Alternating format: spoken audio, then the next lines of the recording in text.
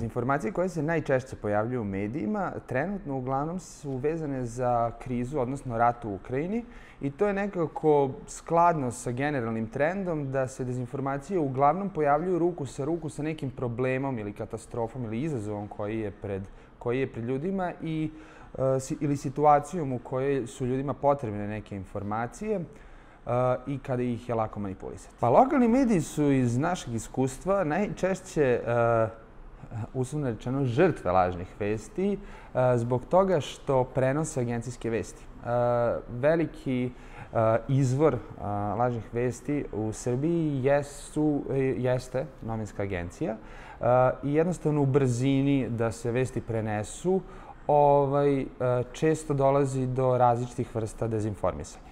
U slučaju lokalnih medija to su uglavnom male redakcije koje se najčešće i osanjaju na sadržaj koji prenose iz drugih medija, najčešće iz agencija i samim tim budu, budu izloženi, izloženi to, tom problemu. Sad, kako to, kako to sprečiti? Pa jednostavno biti pažljiviji pri odabiru. E, to što je nešto objavio već neki uslovno rečeno verodostojan medij, ne mora nužno da znači da je ta informacija istinita. Svaka informacija odakle god da potiče, bilo da je od nekog izvora, bilo da je iz nekog drugog medija, ukoliko se plasira u sobstvenom mediju, uh, valjalo bi da se proveri.